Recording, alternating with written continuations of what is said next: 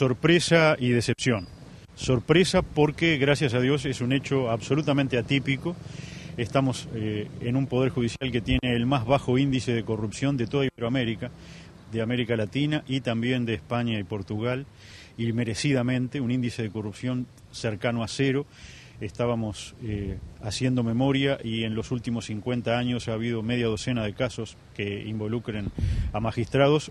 Nunca que se diera la situación que estuviera involucrado un ministro de Tribunal de Apelaciones. Nunca se había dado en la historia del Poder Judicial que un acto de corrupción hubiera llegado tan alto en el Poder Judicial. Pero eso es la sorpresa y eh, la tristeza y la indignación porque, bueno, conocíamos a la doctora Damasco, es una juez que ha tenido destacada actuación gremial, eh, competimos para la presidencia de la Asociación de Magistrados, ella y yo.